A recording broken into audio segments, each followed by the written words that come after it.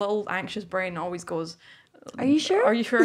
Um, And I definitely still do that, and I definitely like I'm not like perfect in how I feel about Yeah. everything, and nobody ever is. Like they, like I said, you always change, Yeah. and life turns you all over the place. How you know? would you how would you describe um your like because you were going through all these different emotions and kind of like going through all these different changes and trying to find yourself how do you think your mental health was affected and like specifically like high school badly? area I yeah swear like Melanie how, reads my mind. That was my next question. um, yeah, no, I had terrible mental health. Mm. Um, I probably say that from pretty young to not really all that long ago, I was just miserable. I mean, I've never been like diagnosed with depression or anything, but I don't think you, you kind of know when you've been miserable when you look past. Like, Yeah, like it's I when don't, you look I, back I don't think I realise- realized how miserable I was until it sort of simmered down and I Mm-hmm. got to look back at it and be like, because now things like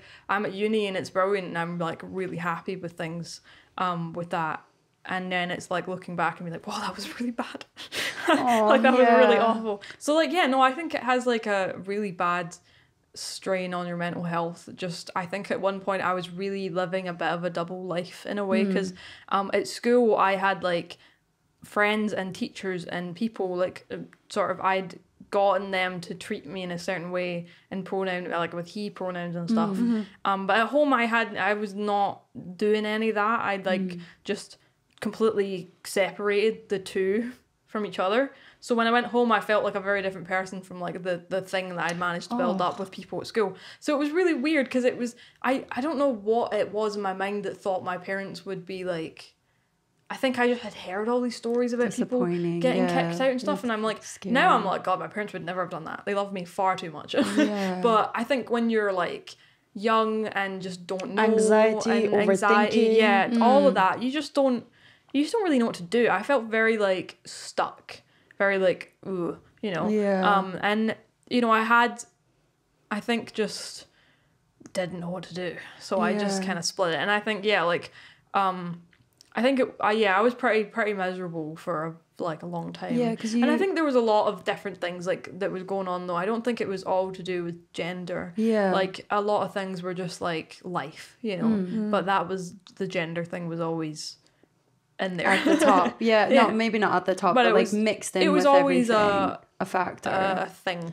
Because I know you mentioned before that you went through a really big period of not speaking and having Yeah. like very like a high amount of social anxiety as well, mixed in with like depression and I, everything. I still suffer from a huge amount of social anxiety. yeah, you're so um, sociable as But well. I like, think yeah. I, I I think I just got when I hit twenty, I was like, right, the like that decade of my life was just terrible.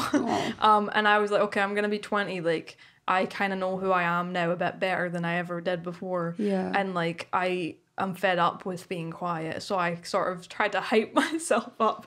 But Yeah. um, Go you. Yeah, no, I. I, I totally like a flip switched when I turned twenty. Oh, thank that was good. that was good timing. Um,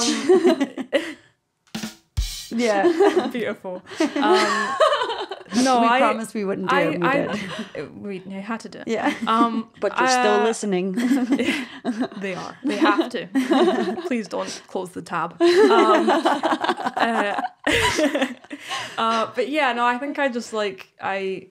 It didn't happen like a switch, but it. I I think like I moved out and I was like, right, I'm going to uni. I've been wanting to go to art school for ages. I got into a course I really wanted to do. Like I'm now surrounded by lots of people who are like like-minded and I just thought like if now's not the time to try be myself, then there's really no other time.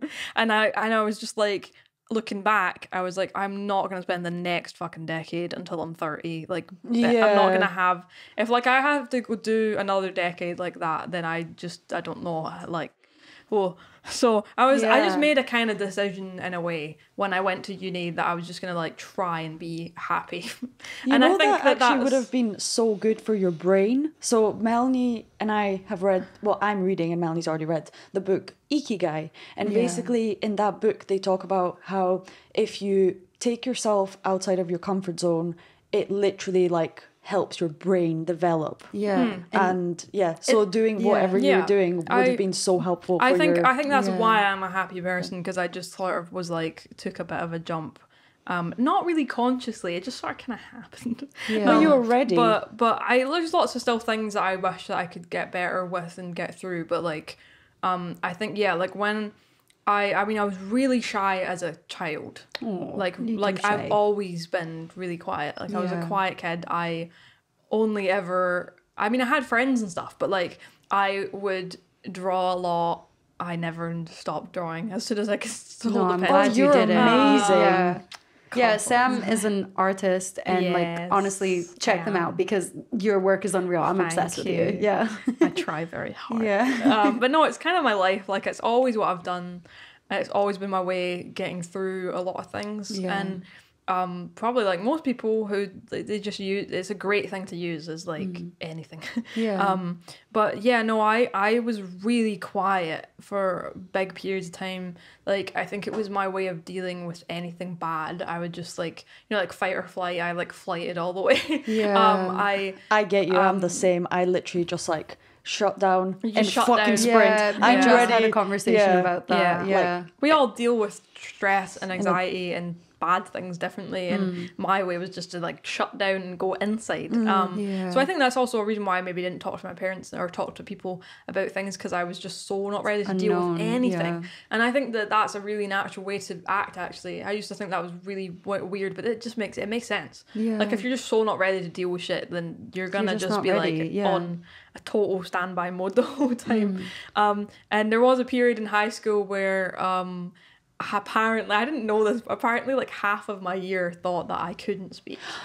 Oh, Um, oh my god, that gave me chills. uh, because I, and I, it wasn't I couldn't I would speak. It wasn't like I was properly. You know, you have Yeah, people who yeah. have proper problems with not being able to speak at all.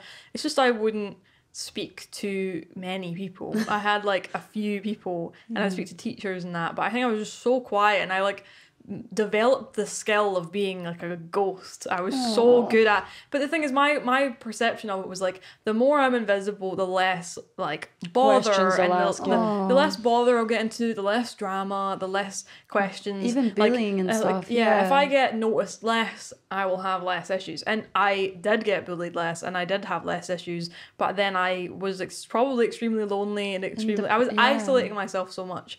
So it's not a way I recommend people deal with their problems. Don't I actually sometimes wish so badly that I had been that angry, pissed off teenager who's always causing problems because that just like at least you're like showing how You're activist. like Yeah. and then people notice that there's an issue when you're all loud and scared. But then you have to constantly fight. Like Yeah. it's kind of like it's being in fight mode all the time. I don't the think time. either things are good, really. But in a way, I just sometimes think like, was I so quiet that everyone just re- didn't see that there was an issue? Yeah, you But were I just think- saving your energy yeah, for and now. I, I also did, I did live in like, oh yeah, yeah, yeah, for up. now. Now you now, can now I educate be and stopped. stuff. Yeah. Um, uh, now I'm hard, hard to shut up.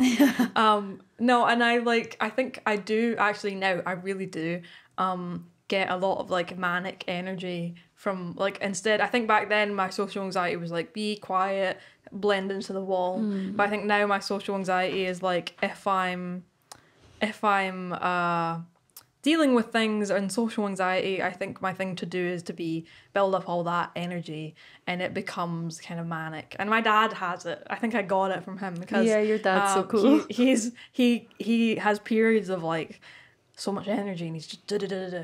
And then I and then he goes quiet. And I'm like that as well. Um, but I'd much rather be a bit chaotic and a bit manic and excitable and talkative. And I think I'd much rather people tell me to shut up now because I'm talking too much than be what I was when I was younger. Because that's like that's like that sucked, you know. Um, so now I'm just kind of like screw it. I'm gonna annoy people. Let's do it. no, you've saved up all your words for now. and it's up, like it- you have a right to have a voice and you have a right to voice your opinion and educate people on a subject that maybe again that's not in their circle of friends. Like one of the biggest thing that I learned about like trying to educate yourself on different subjects of like equality and all this is just make new friends. If you don't know Yeah. about something, get out of your comfort zone and make a friend who is in that circle of that subject or something like that even like yeah so it's like i didn't understand this issue and as much as i do now be, until you meeting you, met- yeah. and it's like Yeah. i'm so grateful that you're here and so Thank you. open yeah grateful that you're here to just educate me myself maggie all your friends and everything because like if i if you didn't do that i would have no outlet or kind of personal source to tap into Yeah. to Yeah. understand I, I think that yeah. Yeah. I think I really don't mind talking to people about it and and educating people about it. But I think that there is trans people who are just fed up having to even talk and Yeah, I get at, at times I do feel a little like God it's like so annoying that Yeah. people just don't know but then I, I think that I just tap into reality and I'm like well that's not how it is so At least we're Um, they're not ignoring it. Like, do you know no what I mean? exactly